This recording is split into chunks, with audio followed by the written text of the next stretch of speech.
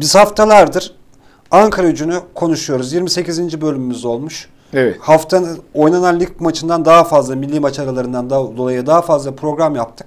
Biz Ankara gücünü gördüğümüz kadarıyla değerlendirdik. Şimdi sen bu sezonu bir hızlı bir değerlendirelim. Ardından bir Sivas maçını konuşalım. Ardından da Beşiktaş maçına geçelim. Şimdi Ankara bak- gücünü sen nasıl görüyorsun? hocam? Ankara gücünü ben şu, bu seneyi şöyle değerlendiriyorum. Bir kere Mehmet Yener Başkan ve yönetimiyle başlayan bir sezon. Transfer yasağı olan bir sezon. Borçlarla uğraşan bir sezon. Taraftarla bütünleşemeyen bir kulüp ayrılması Evet. oldu. Baş, başkan ve yönetimiyle. Kaos içerisinde başlayan Kaos içinde sezon. başlayan, transfer yapamayan, eldeki mevcut oyuncuların bazıları e, Ankaracı futbol takımından ayrılarak ki profesyonel futbolcuların bunlar e, gayet e, doğaldır ayrılmaları. Çünkü onlar da kendi yaşantılarını düşünmek zorunda. Ve Ankara gücü genç teknik adam Aykan Atik'le başladı. Aykan Atik ve ekibiyle başladı. Adnan Hoca, Er- Erkan Hoca. Erzurum'daki Adnan Hoca'ya ben Adnan Erkan Hoca'ya hoca yani şimdi Adnan Erkan e, kardeşimiz antrenörlük çalışıyor Ankara gücünde yoksa bir e, sportif direktör Şu genel sportif direktör yani mi çalışıyor. çalışıyor? Evet. Ya bunun ayrımını yapmamız da lazım. Yani çünkü oraya gelen teknik adamın rahat çalışması için o orada e, bulunan insanların da görevlerin açık seçik bir şekilde e, belli olması lazım. Şimdi Aykan Atik'le başlıyorsunuz. Erzurum kampları, hazırlık kampları, hazırlık maçları ve lige başlıyorsunuz. 3 maç 5 puan alıyorsunuz. Ve e, arkasından Aykan Atik Hoca gidiyor ve Metin Diyadin geliyor. Evet. Metin de e, benim Metin Hoca diyelim artık hocalık yapıyor.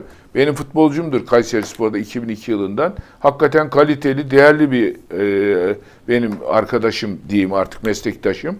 E, ve kardeşim gibi birisi. Hala görüşürüm ederim. E, Metin Diyadin ve ekibi geldiler. Ve onlarla beraber çalışmaya başladılar. Tabi orada Metin Hoca'nın bir ceza alması var. 5 maçlık Evet. bir ceza aldı. 2-3 O- maç görebildik Metin yani Hoca'yı kulübe. o bir Ankara gücüne ve Metin Hoca'ya o bir sekte vurdu orada o Evet. ceza alma. Yani ben onu da o ceza alma şeklinde yadırgıyorum. Yani o belirlenen çizgili al- alan var teknik adamların kulübenin önünde. Onun dışına çıktın. E biraz e zaten o e, futbol sahasını belirleyen çizgiyle o taç çizgisi diyelim onu. O çizgiyle Galatasaray maçında Dersu ya, Ünal ya işte taç çizgisiyle e, onun e, yaptığı hareket farklı bir hareket ama. Metin Diyadin öyle bir hareketi Evet. yoktu. Farklı. Onunki farklı. E, şimdi o çizgiyle kulübenin önündeki çizgi arasındaki mesafe zaten 1 metre veya bir buçuk metre. Ya bir insanın adımı zaten 1 metre.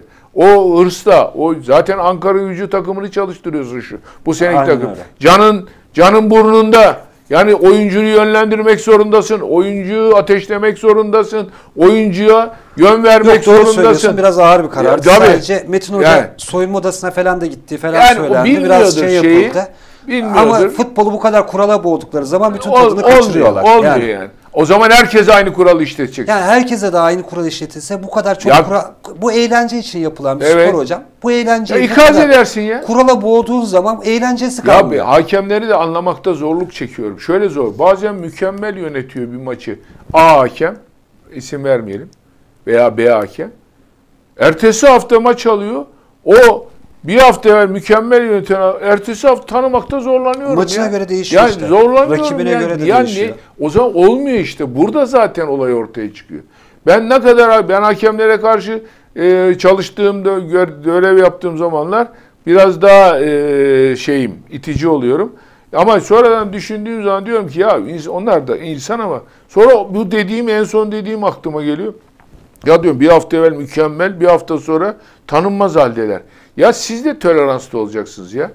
Yani dördüncü hakemin görevi nedir ya? Yatıştırmaktır ya. İspiyon etmek değildir ya orta hakeme. Aynen öyle. Şimdi ondan sonra Metin Hoca'dan sonra Mustafa Kaplan dönemi Mus- başladı bak, hocam.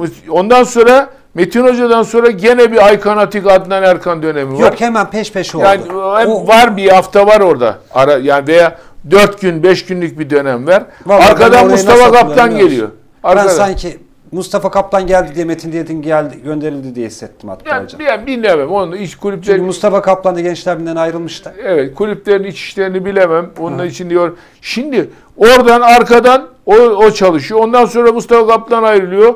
Aykan Atik Adnan Erkan bir daha geliyor. Evet. O ayrılıyor Mustafa. Ya şimdi oyuncu şunu düşün. Ben oyuncu olsam şunu düşünürüm ya. Şunu, Lan ne oluyor arkadaş derim ya. Bu Aykan Atik Hoca bu kadar şeysin niye Aykan Atik Hoca ile devam etmiyorlar derim.